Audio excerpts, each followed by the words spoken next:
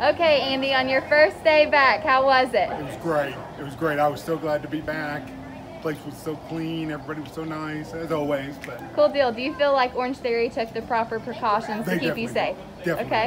did. Yeah. Can you Yeah, tell they- me a little bit about it? They kept us separated. They everything was well organized and clean. We got in and we dirtied it all up, but they'll clean it all again. It, they're doing a great job so far. Cool deal. Are you glad to be back? I am so glad to be back. Awesome. Thank you. Amber, on your first day back, so tell us how it was.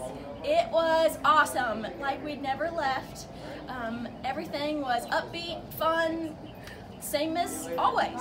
Cool deal. So do you feel like um, Orangetheory took pretty good precautions to keep you safe today? Oh my goodness, everything, everyone was overly precautious. Um, no, we weren't around anybody. Everything was super clean and things transitioned smoothly so we wouldn't be fearful of coming in contact with others. Cool deal. Are you so glad to be back? Oh, you have no clue. okay.